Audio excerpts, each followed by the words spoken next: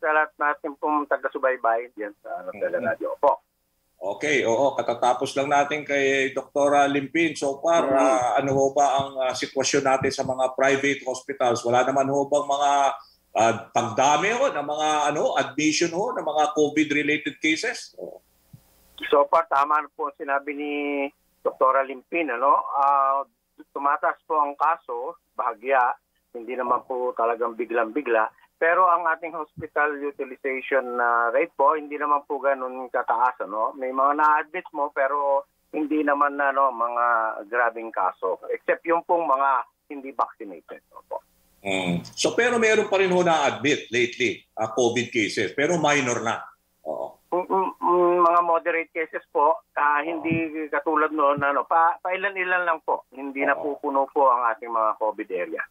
Oo. Eh kamusta naman ho yung mga let's say yung mga uh, ano uh, benefits na binibigay ho sa ating mga healthcare workers lalo na ho sa mga private uh, hospitals so uh, na naka nakatanggap na ho pa sila ng ayuda yung allowance nila? Oo. Ayun nga po ang actually yun ang sinasabi namin ano sinasabi kasi po ng Department of Health na ibigay na yung OCA no yung one COVID allowance na supposedly was released by uh, the uh, Department by Budget and Management noong pang February. Pero hanggang ngayon po, marami pa pong ospital, lalo na mga ating mga private hospitals, ang hindi pa talaga nakaka-receive nitong OCA. Ano po? So, yun po, dahil po diyan, uh, tumawag po sa akin, actually, itong ang uh, Department of Health at sinabi sa amin na kung bakit gano'n. Sabi ko, ay talaga kung gano'n, tinatanong namin ang aming mga miyembro kung nabigyan sila nitong uh, OCA na tinatawag at uh, sa karamihan po sa kanila ay hindi pa po talaga dinadatnan nung uh, nitong OCA allowance. Ano po? So, Pero itong, yun po, oo. Mm, yeah, itong COVID allowance, magkano ho ito? Dok, Dok? Depende po yan. Depende po yan. Depende yan, sa lugar. Uh, hindi, hindi sa exposure po ng uh, healthcare workers. Yung ah. po direkta na talagang uh, nagtitreat sa COVID patients, 9,000 po yan per month. Merong 6,000 at merong 3,000. So, ibig sabihin, meron pong high risk, merong medium risk, at saka low risk. So, kung low risk lang po, eh, 3,000 a month lang po ang may bibigay sa inyo. Yun po. Oo. So, sino yung mga, let's say, hindi pa nakakatanggap? Uh, which area ito? At saka ito ba yung mga belonging to the high risk na mga 9,000 a month? Malaki-laki rin yun, ha? Oo. Actually, sa isang hospital po, depende yun. No? May mga, uh, halimbawa, yung mga nurses po na talagang directly in charge with the COVID patients, yung po mga yon binibigyan 9,000.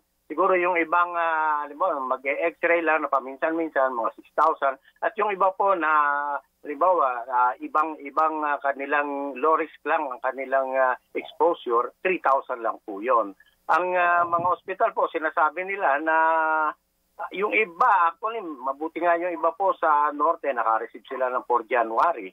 Pero kadalasan po, karamihan po dito sa aming mga miyembro, hindi pa po daw sila binibigyan itong COVID allowance. Oh, ano ho mga areas ito na let's say ah, hindi pa nakakatanggap nitong uh, COVID allowance? Uh, marami ho ba dito sa NCR? Oh. Ah, uh, sa NCR po wala actually kaming uh, ano mas na wala po nagsabi sa amin. Sa Antipolo, meron po. Then uh, sa Calabarzon po, yung sa San Pablo, uh halos lahat. Sa Batangas okay. po, wala pa pong masyadong nabibigyan. Sa Visayas, uh meron din pong hindi nabigyan. Mindanao, meron din pong hindi nabigyan. At saka Northern Luzon, hindi pa po sila nabigyan. Oo. Di ba ho, Doc, itong mga private uh, health workers, di ba, mas mababa ang sweldo nila kung ikukumpara natin sa mga government health workers, di ba?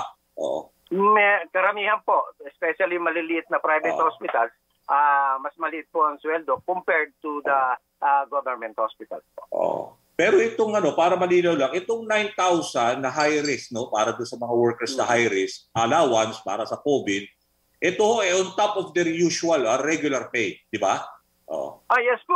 Ito po yung uh, additional benefits po yan. Para yung special oo, nga, oo, allowance para malinaw. na binibigay. Diba? Opo. Oh. Na binibigay po yan ng gobyerno. Sa gobyerno po yan. Parang subsidiya po yan ng gobyerno. Na inaproban oh. po yan ni Presidente Duterte. Opo. Oo. Pero may computation ba kayo kung magkano pa uh, uh, sa lahat yung mga hindi pa nakakatanggap nitong COVID allowance? So far, as of, uh, dapat February, nagbigay na raw, pero until now, July na eh.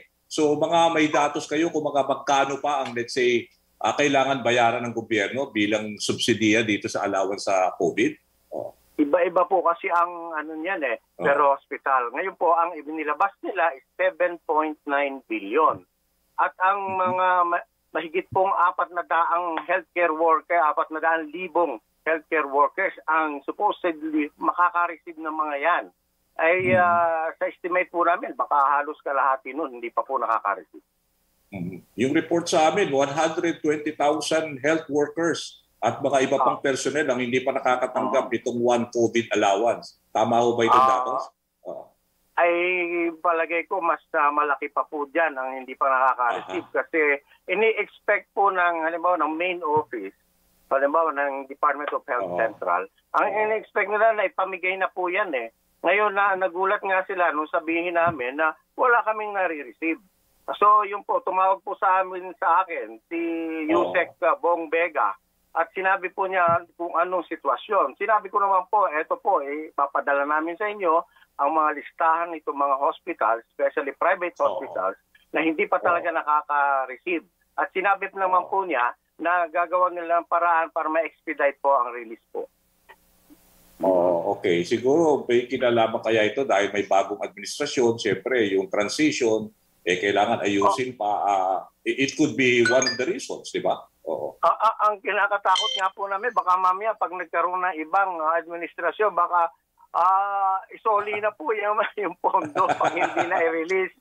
na, baka po katulad ng dati, ano po, na yung oh, SRA, oh. sabi nila, oh, Oo. Hindi nyo na ibigay yung SRA. Pagdating nitong end of this month, ibabalik na namin yan kung hindi na pabigay. Yun po ang nakakalungkot pagka ganun. Mm-hmm. Oo, ayun. Kasi uh, syempre medyo humuhupa na rin. No? Last question na lang, humuhupa na rin kasi mm. yung ano, ang kaso ng mga COVID at medyo lumuluwag na yung ibang bansa. May mga report ba kayo na marami ho sa ating mga private health workers ang nagbabalak na talagang uh, mag-abroad na lang, mag-nurse ka lang sa US o sa UK or wherever? ay talaga naman pong uh, totoo yan. At uh, yun nga po ang aming uh, kinakabahala. Kasi baka tayo maubusan ng mga nurses right now. Yun lang po ang limitasyon namin. Pagka po hindi napigilan yan, baka maubusan talaga tayo ng nurses. Okay. Okay, maraming salamat to, Doc ha. Oo. At uh, ingat po kayo. Yan ho si Dr. Jose Rene De Grano. Ha? Siya ang uh, Oo, siya ang presidente ng Private Hospitals Association of the Philippines Incorporated. Thank you, Doc, sa oras. Ingat po. Ayun, tuloy-tuloy na tayo ha, uh, dito sa programa ni Kabayan at ito ay medyo related din dun sa pinag-uusapan natin sa kaso ng mga healthcare workers, yung uh, ayuda sa kanila. Makakausap naman natin, uh, walang uh, iba kundi ang Bispo Presidente ng Alliance of Health Workers uh, via Zoom, si Robert Mendoza, Robert, si Danny sa programa ni Kabayan. Yeah, magandang umaga. Danny at sa lahat ng ating mga taga-subaybay ng ating programa ngayong umaga po. Oo, ayun, medyo di maganda yung signal ni ano ah, ni Robert ha. Pero saan ka ba ngayon, Robert? Nasa May- uh, Metro Manila ka lang? Oo. Yes po, nandito pa sa Novaliches lang po. Ah, okay, okay. Medyo malinaw yung audio mo kaya lang parang uh, nag-freeze yung video mo. uh, ah, oo. Bali Robert, yun nga uh, dun nga uh, sa huling tanong ko rin kay ano uh, kay uh, Dr. Jose De Grano dahil nga marami pa rin yung hindi nakakatanggap no nitong uh, one COVID allowance. Uh, 120,000 yun din uh, sabi niya baka more than that. Uh, ano ba ang ano ang uh, issue or uh, latest update yan sa iyong hanay? Uh, alam po natin ano uh, kahit yung sa panahon po ng bayanihan to ano mayroong estimated na almost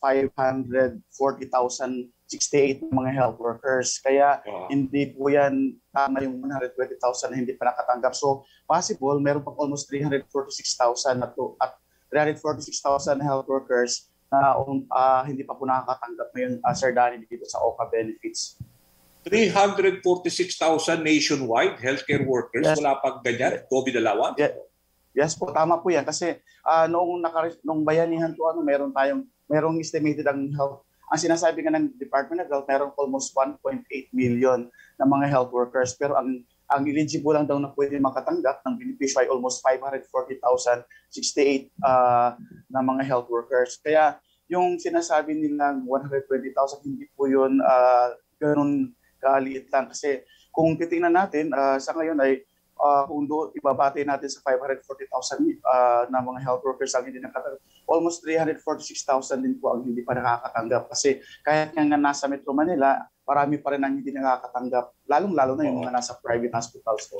Oo. Pero ano ba ang info nyo? Na-release na ba lahat yung kabuuan para lahat sa mga healthcare workers? Or talagang meron pang, uh, let's say, staggered basis yung pag-release? O na-release na lahat?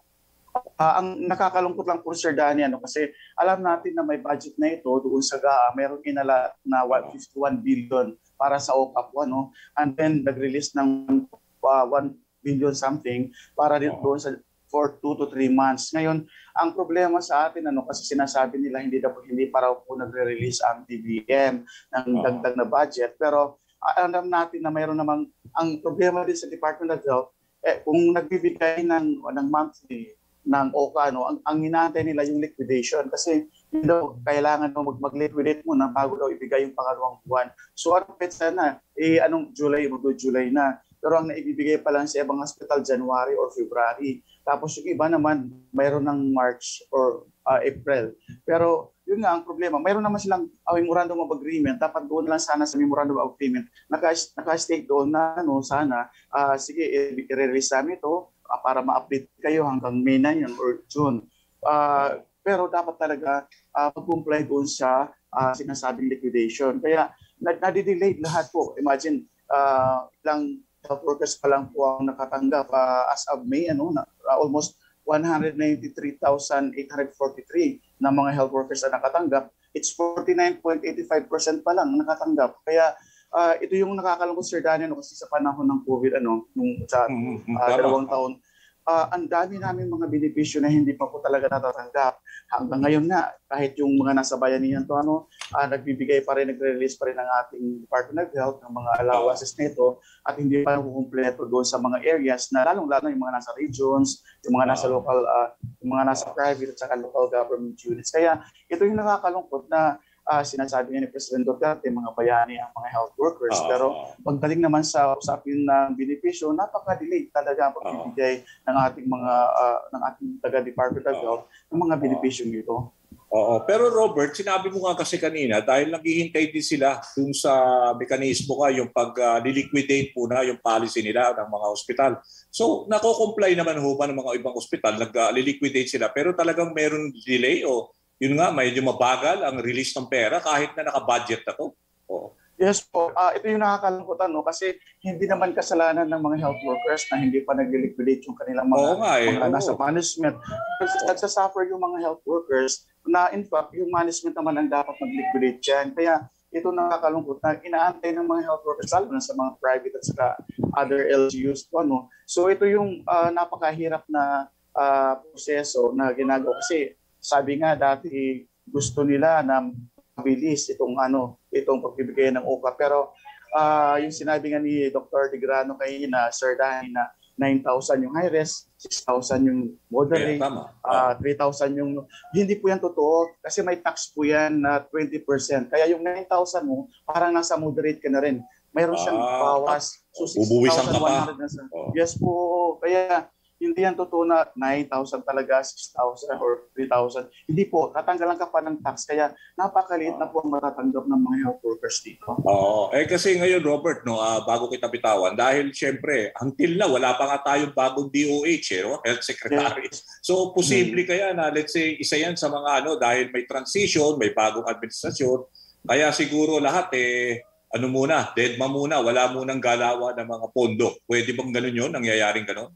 Uh, hindi na siguro po kasi hindi na yan ang reason kasi alam natin na nasa gaan na po siya. So ibig sabihin na budgetan siya at pumasa na po sa may okay. camera at pinirmahan ni President Duterte. Sana hindi na patagalin kasi alam naman natin na ito ay nakalaan para sa mga health workers at sana uh, bilisan, bilisan na ng ating ano. Kaya nga nung aming Fifth Health Workers. Forum ano, sa Department of Health, nagsasabi okay. kami na dapat itong batas na ito, kagaya ng health, kasabay yung health emergency allowance, ano, ay dapat ah. mayroon talagang sanction. May sanctions okay. yung mga uh, namamahali ito sa pondo kasi dapat may release agad sana sa mga health workers. Sige. Okay. Maraming salamat ha, Robert. At medyo kapos tayo sa oras. Yan ho, si Robert Mendoza, Presidente ho ng Alliance of Health Workers. At magko-commercial break lang po kami at sa aming pagbabalik ay tungkol naman sa mga